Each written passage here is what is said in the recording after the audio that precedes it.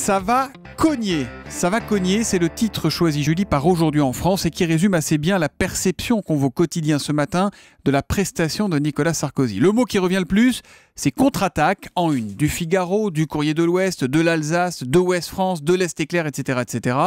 Quant à Libération, Libération fait dans l'analyse la rhétorique du complot pour seule défense, écrit Libé, Nicolas Sarkozy a dénoncé hier l'instrumentalisation politique de la justice.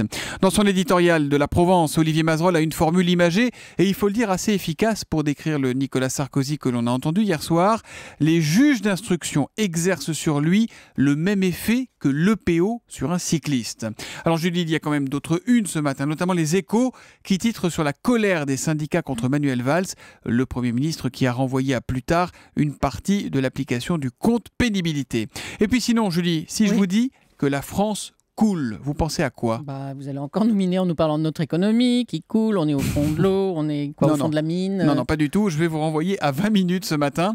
20 minutes qui a choisi ce titre à la une. La France coule pour nous apprendre, c'est surprenant, que la moitié des Français ne savent pas nager. Ah bon? Oui, Un chiffre qui, a quelques jours des vacances, inquiète vraiment l'Institut de veille sanitaire. Hein, c'est pas anecdotique quand on sait qu'il y a chaque jour en été plus de deux morts par noyade en France et au total plus de 500 victimes chaque année. Et ça s'apprend pas à l'école, ça? Si, Au fait, si, c'est quoi un bon nageur eh ben, C'est être capable de nager 10 mètres sous l'eau et 25 mètres en surface.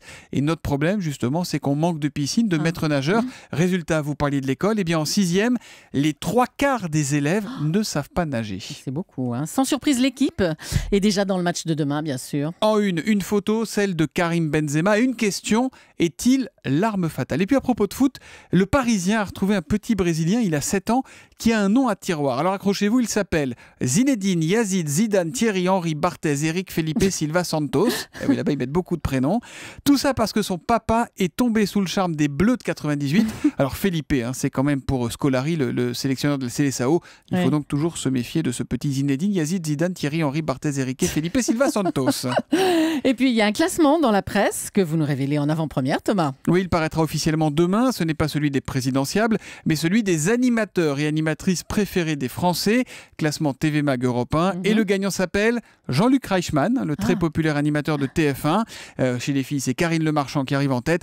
Tous les détails de ce top 50, vous les trouverez dans votre TV Mag demain et tout à l'heure en avant-première dans le grand direct des médias avec Jean-Marc Morandini sur Europe 1. Et on n'y est pas dans ce classement.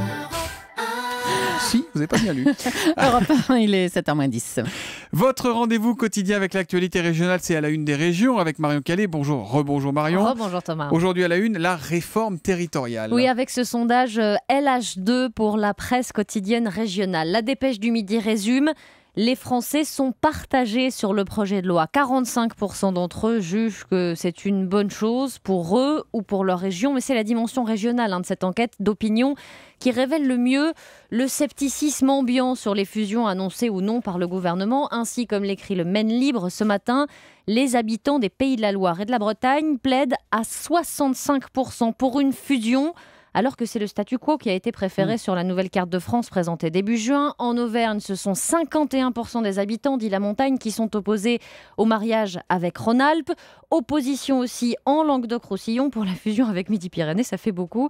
c'est le genre de sujet sur lequel on met jamais tout le monde d'accord. hein. Exactement. Et cela dit, cette opposition en Languedoc, euh, elle se traduit, dit Midi Libre, euh, aujourd'hui dans les urnes, car même si les députés ont rejeté hier l'idée d'un référendum, eh bien, une commune entre en rébellion, celle de Saint-Cyprien dans les Pyrénées-Orientales, qui installe aujourd'hui et demain un bureau de vote à l'hôtel de ville avec une question. Êtes-vous favorable au rattachement de la région Languedoc-Roussillon à la région Midi-Pyrénées? Le maire UMP entend ainsi dénoncer la précipitation autour de cette réforme. C'est à lire donc un peu partout dans la presse régionale ce matin. Merci beaucoup Marion Calais.